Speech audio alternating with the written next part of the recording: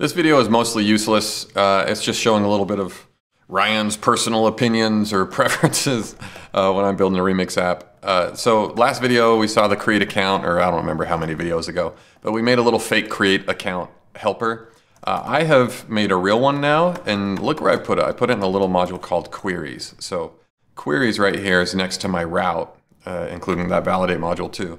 So in here, uh, I like to make a little queries module and put whatever interactions I have with the database inside of here. I'm using Prisma. You can use whatever you want. I'm not trying to explain Prisma in this set of lessons. Um, yeah, got my actual create account thing here. Makes a, makes a salt and a hash so that we can store our password securely and then writes it to the database. And then I got another one right here that says uh, checks if an account exists because that'll be a part of our, that should be a part of our validation as well. So let's go, let's add that validation first. So I'm gonna come into validate and I'm gonna double check some stuff here. Right? Like first check the email, check the password, make sure they got all that stuff right. Um, and then if they got past all of that, because that'll be fast, now I'm gonna do the thing that might be a little bit slower and I'm gonna check the database.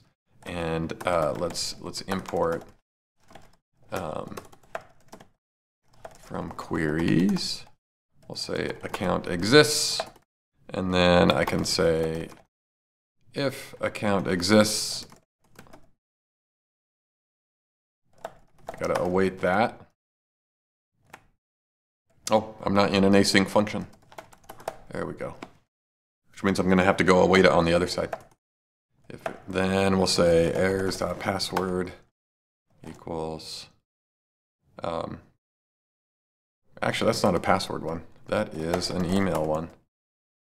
And let's not be annoying. Let's go all the way up above the password. Okay. Okay. And then let's give that a shot. I think I already have an account.